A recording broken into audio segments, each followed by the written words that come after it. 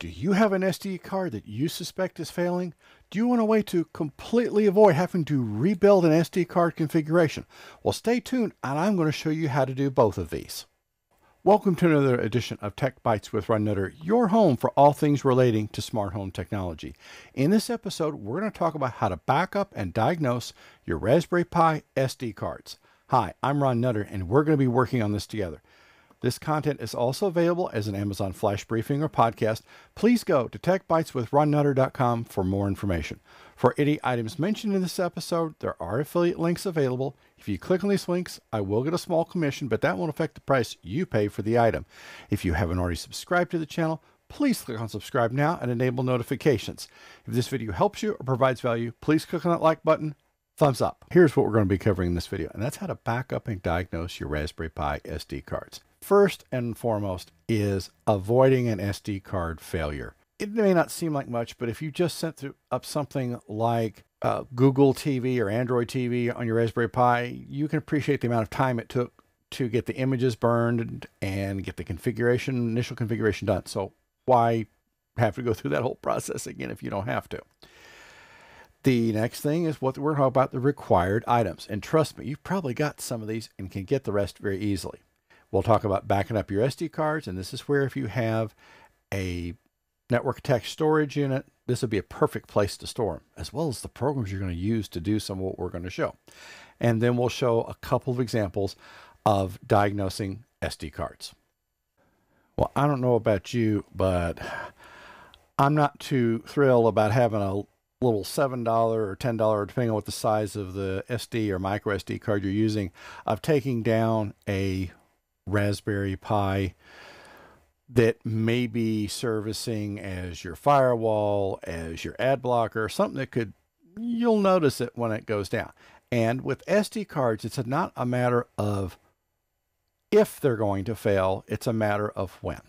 Now, some of this you can mitigate by having a maybe a little better quality SD card, but in the end, I don't really know if it's going to matter that much, and I'll probably get some email from some PR folks at some of the different SD card companies over that statement.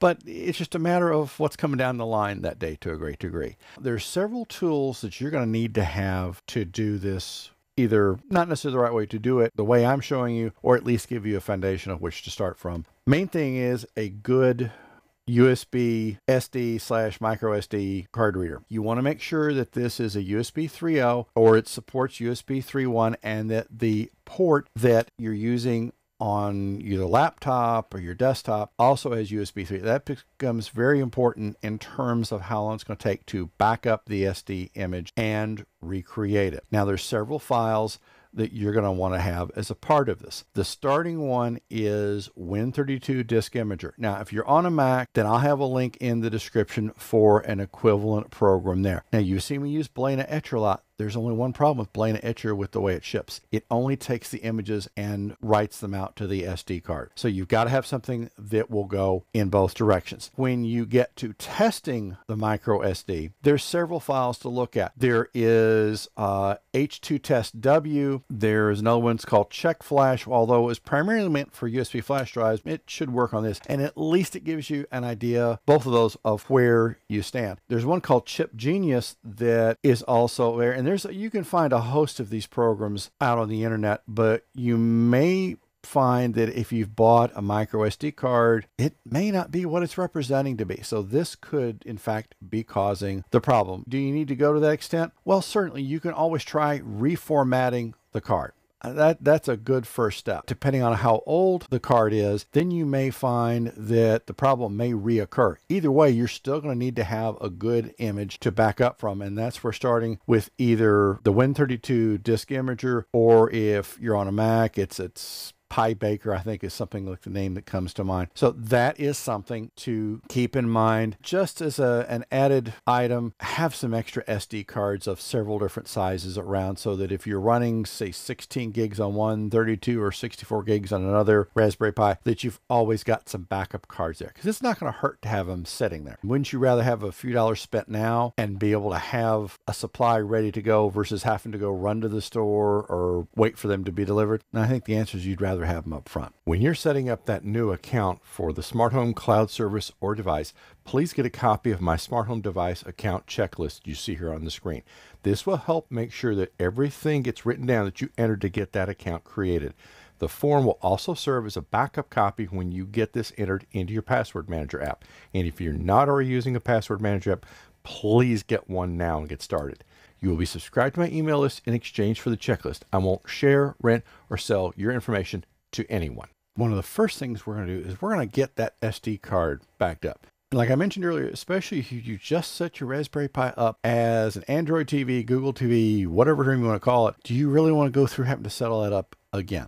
And I think the answer is going to be no. What we'll do is we'll take the card, put it in the SD reader. Helps if I put it in the right way. And then we make sure you put it you in, in the USB 3 slot because the larger your image is going to be, the less time you want this to take. Now notice it automatically came up with D drive. Now never ever assume that it's picked the right drive. So in this case it says boot so we know that's a Raspberry Pi SD card. Image file, what we're going to do right now is we're going to put it in downloads. But now this is where if you have a network attached storage device that this is going to be an excellent place for that. In fact, all these files that I'm going to, or applications I'm going to show you, that's a heck of a place to put them because that way you can sit there and have those backed up. And in case you come in with a different computer, you don't have to go running down the applications. You have to reinstall them, but that's minor in the grand scheme of things. So we're going to go here and we're just going to say test SD backup. And then what we're going to do, I'm not going to do any hashing at this point. I'm more concerned about getting it done. And at this point, you see if it says read, is reads data from device to image file. Okay, so we're going to go from device D to image file. And it's important to always check that your to and you're from or where you want them to be because you might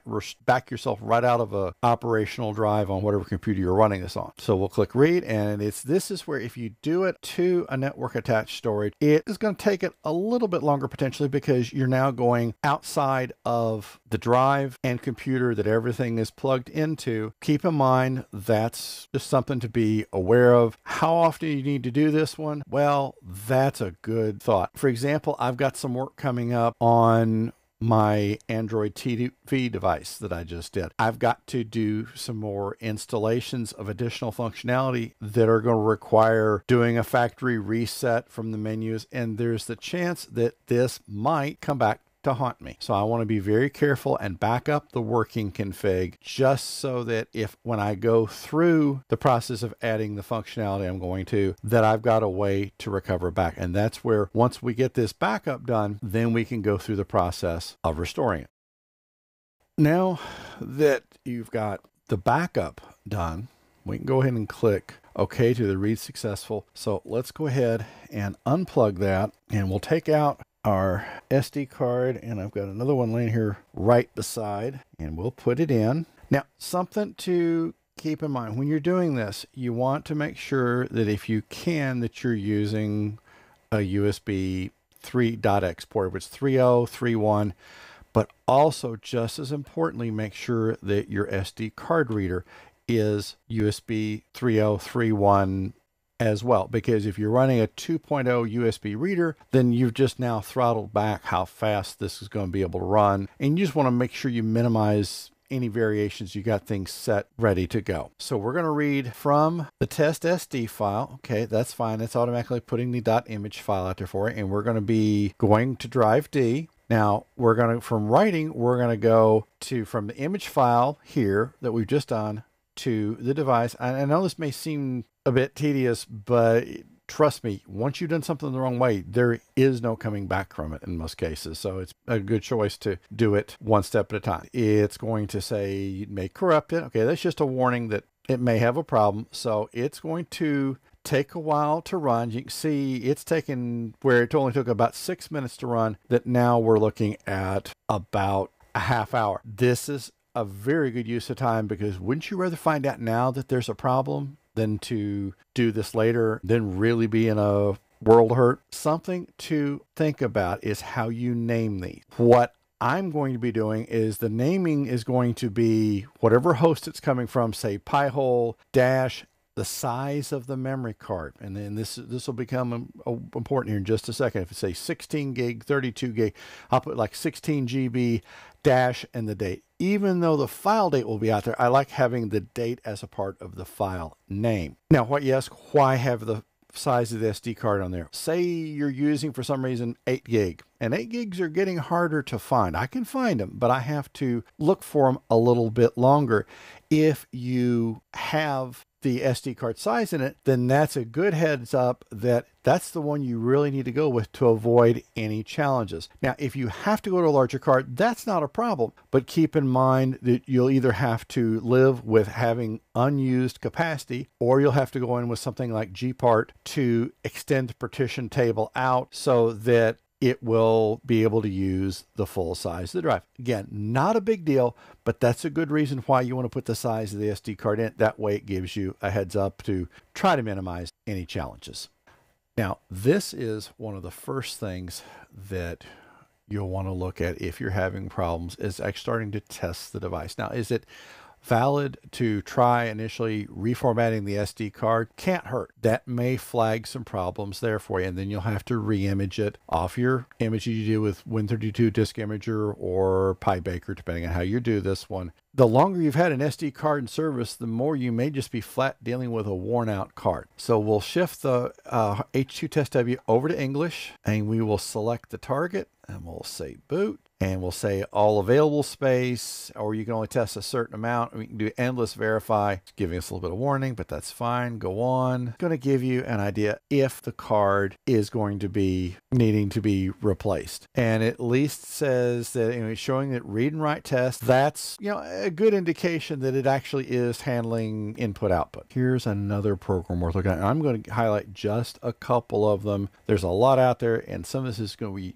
you will need to do a little bit of kicking the tires and doing some trial runs to see what's going to work best for you. So we'll go to check flash and we can say use temporary file for the access type read and write test you can really give it uh, this is a fairly comprehensive program. Make sure again it's going it's going to the boot drive and it won't let you fortunately select your drive that your computer booted from. Drive is not empty. Complete space test will be impossible. That's fine. See now it's showing you it ran a complete test. It ran one test. If it's a pattern sensitive problem then that's going to be something that's going to be a lot more involved to find. If you have start going to that level, maybe you just need to go ahead and replace the drive. You can do burn it. You can do this will be it's just going to you'll stress test the card till it just can't uh, can't handle anymore. You can do a certain number of cycles, or you can say until first error is found. Drive is not empty, fine. So it's going to keep going until it finds a problem. Now, keep in mind the micro SD cards have a limited write read cycle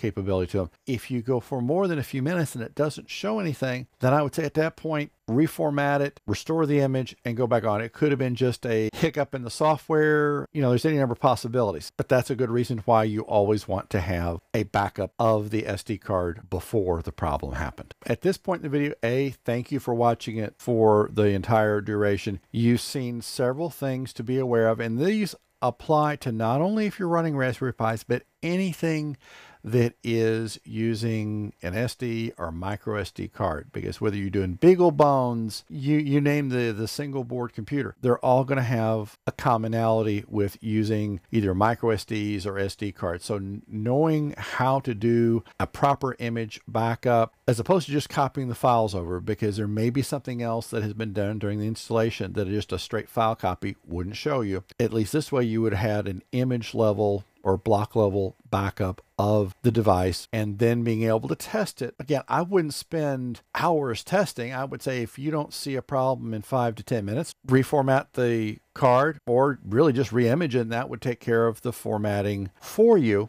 and then just go on and watch it. And if it acts up again, get rid of the card, go to a fresh card or just cut your losses at this point and put a new card in service. If you're watching this on YouTube, you're going to see videos on the screen that are similar to the one you've just watched or other content that YouTube thinks you might be interested in. If this video helps you or provides value, please click on that like button, thumbs up. If you haven't already subscribed to the channel, please click on subscribe now and enable notifications. We'll see you in the next episode. Thanks for watching.